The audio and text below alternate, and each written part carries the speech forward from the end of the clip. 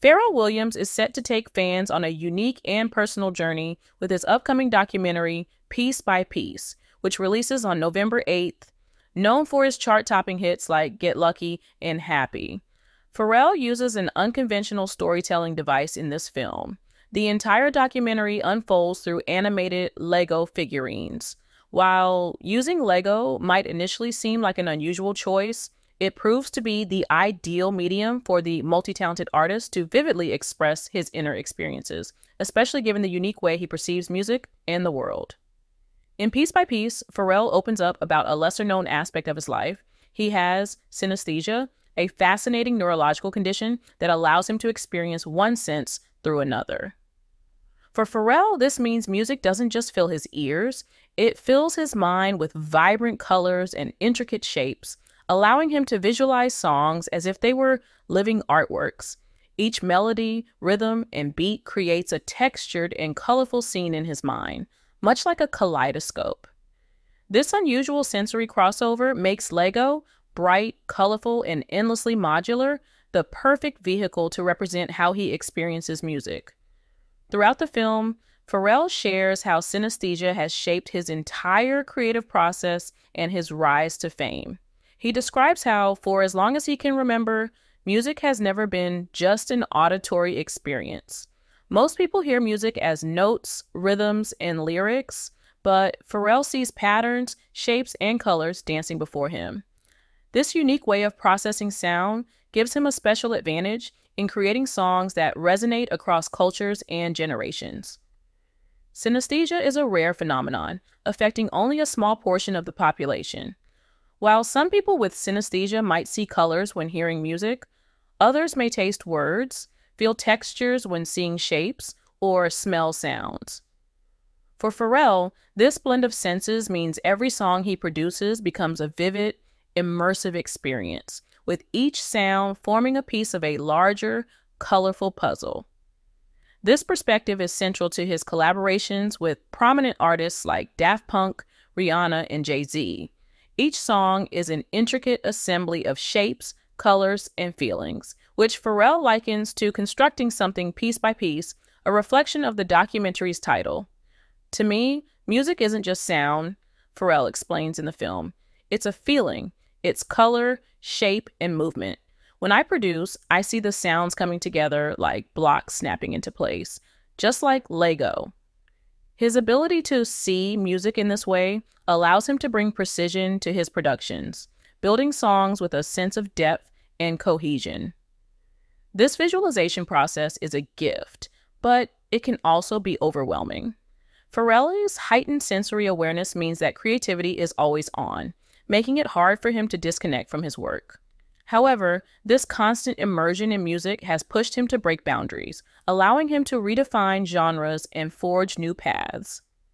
In the documentary, viewers see Pharrell's life story reimagined through Lego scenes, giving a glimpse into his colorful, textured mind. From his childhood in Virginia Beach to his journey to international stardom, Piece by Piece captures pivotal moments with playful, vibrant animations that mirror Pharrell's experience of music as a blend of sound, sight, and emotion. It's a personal and whimsical reflection of his creative journey, with each stage brought to life in intricate, visually rich scenes. Pharrell also reflects on how synesthesia influences his work beyond music. The condition affects his approach to fashion, art, and even film, with every creative decision being guided by the colors and shapes he perceives in his mind. Collaborating with brands like Adidas and Chanel, Pharrell brings this sensory awareness to his designs, infusing each project with his distinct vision. He describes how each venture feels like an opportunity to build something beautiful one brick at a time, whether it's a melody, a design, or an entire song. In one of the film's more candid moments, Pharrell reveals that while synesthesia has fueled his creativity, it has also presented challenges. His heightened sensitivity can sometimes make it hard to turn off his mind. Sometimes it feels like I can't escape it, he admits. Music is always there, moving, shifting, showing me new things. Yet, he emphasizes that his synesthesia has been one of his greatest gifts, allowing him to see the world in his unique way. He hopes Piece by Piece will encourage others to embrace their own ways of experiencing life, no matter how different or unconventional. Pharrell's synesthesia in the documentary reflect a broader view of creativity and resilience. By sharing his journey, he aims to inspire people to appreciate diversity in how we perceive and express ourselves.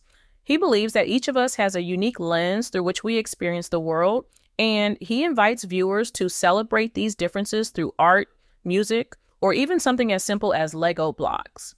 The film not only offers an insight into Pharrell Tool's world, but also raises awareness about synesthesia as a fascinating aspect of human perception. Dr. Jamie Ward, a cognitive neuroscientist specializing in synesthesia, notes that this condition can manifest in many forms and is more common among artists and creatives. For some, it's tasting words, seeing numbers as colors, or associating sounds with specific shapes. These sensory overlaps can profoundly shape one's creativity and interaction with the world. In one example, Dr. Ward explains how synesthesia can involve connections between visual and taste perceptions.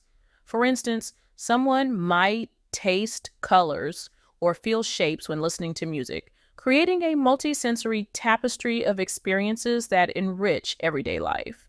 This blending of senses is a deeply personal experience and is unique to each individual with synesthesia. Pharrell's documentary gives audiences a peek into this world, showing how sound and color interact dynamically in his mind, shaping his work across all his creative pursuits. While synesthesia is often compared to the physical sensations triggered by ASMR, autonomous sensory meridian response, it operates on a more intricate level, where ASMR might produce tingling sensations from specific sounds or visuals. Synesthesia blurs sensory boundaries to create rich, overlapping perceptions. Pharrell's journey with synesthesia is a window into how the human brain can defy conventional sensory limits, revealing a world of creative potential.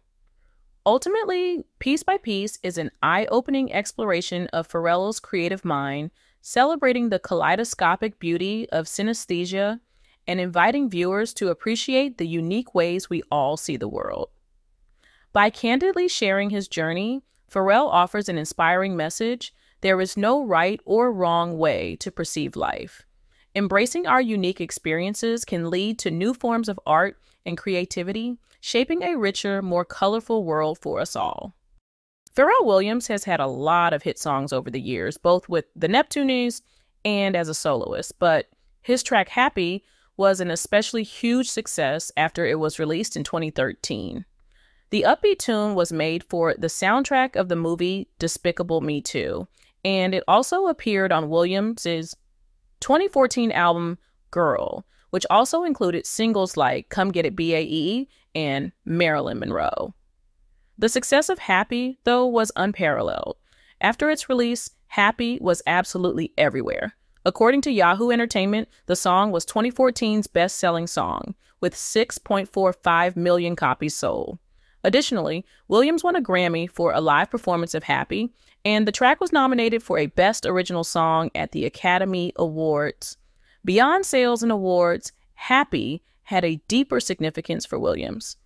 In the happy lyrics, according to Genius, Pharrell Williams sings about staying positive in the face of bad news and adversity. This is evident at one point in the song. He croons, Here come bad news, talking this and that. Well, I should probably warn you, I'll be just fine. Later in the chorus, he instructs the listener to express that joy and clap along in various ways to make it known. It's an infectious, catchy song that you can't help singing along to when it comes on. And the track's focus on happiness was very much intended. During a June 2013 interview with ScreenSlam, Williams revealed that the upbeat emotion in the title was indeed the inspiration for the track. The Despicable Me 2 creators wanted a very positive, soulful tune for the movie, which was the song Happy. While he wrote the song for the movie, he also recognized the track's universal appeal, even without knowing the context of the film. It was awesome to be able to make a song that, when you're feeling down, you can just play it and feel a whole lot better. Williams told the outlet. In a May 2014 interview with W Magazine, Pharrell Williams recalled how he came up with Happy while pitching songs to Despicable Me to producer Chris Meledandri. The track was actually the 10th and final one that Williams pitched. He told W after nine different songs recorded fully, they were like, no, no, no, no. So I went back and wrote Happy. I didn't have the melody, just the chorus. And after the artist wrote the tune, he seemed to feel the emotion of the title, Happy itself. Williams said he was jumping around the room 20 minutes after he wrote the track. He declared it to be his last effort at writing a song for the Despicable Me 2 soundtrack. And luckily, it was the one the producer chose. But though Happy became a huge success for Williams, it was originally intended to be sung by a very different artist. Before Pharrell Williams was known as a singer in his own right, he was a famous producer and songwriter from the Neptunes who had worked with artists like Justin Timberlake, Gwen Stefani, and Daft Punk. So, when the Despicable Me 2 producers chose Happy, it was intended for another artist to sing, CeeLo Green. In an April 2014 interview with The Howard Stern Show, Williams revealed that CeeLo recorded an impressive version of the song. Williams told Stern, he sounded amazing on it. He burns my version. But there was just one problem. CeeLo's record company, Elektra Records, wanted the artist to concentrate on his upcoming Christmas album. So, Williams decided to sing and release the song as a solo artist. Even though CeeLo lost out on having Happy as a hit song, Williams told Stern his fellow artist was supportive of the track's success. Happy, however, wasn't popular at first. Finally, Happy as sung by Pharrell Williams, played during a key scene of Despicable Me 2 after the main character, Gru, voiced by Steve Carell, falls in love. The usually sullen character dances joyfully to the tune with his family, the minions, and people in the streets. Being paired with such a scene suggests that Happy could be interpreted as a love song, but Williams soon made sure it was known as more than that. When the song was first released with the movie in July 2013, Happy didn't get much radio airplay, Williams recalled in the 2014 interview with W. So a few months later, in November 2013, he teamed up with the French directing team known as We Are From LA for 24 Hours of Happy, which called itself the first 24 hour music video. The day long presentation featured Williams and many celebs like Carell, Jamie Foxx, and JoJo, among many others, dancing gleefully to the song over and over again. The 24 hour music video spread happiness across the internet and became a huge viral success. In March 2014, the song peaked at number one on the Billboard charts. So perhaps Happy isn't merely a love song after all. It's all about bringing joy to everyone including its creator, Pharrell Williams.